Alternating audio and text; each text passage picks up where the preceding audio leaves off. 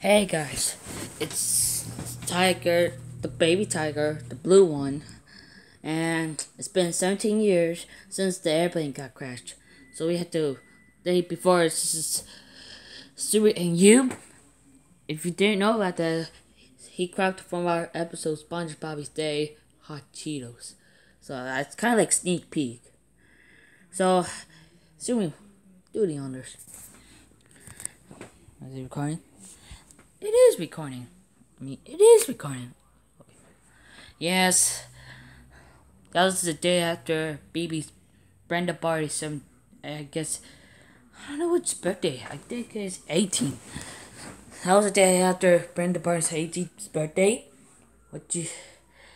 Yeah, what you didn't know about September 11 is if you are new to this, this is where everybody got crashed. We learned it from school. So Mm, that's, if it weren't for that, I made up. If it weren't for the airplane got crashed to the building, then, then September 9 to day 11, it should be a hospital slash doctor day. It's where you could take a day off.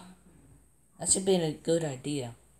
But if that does exist, let me talk about it for a few things. Only just a few things.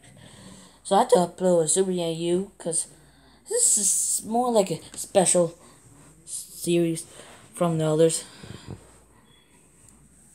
Uh, like you already know from Super U, what you did know about is I grew up from SpongeBob's Day. So uh, this is more like a day before September 11. That's sad. I learned it from that class. So, peace out.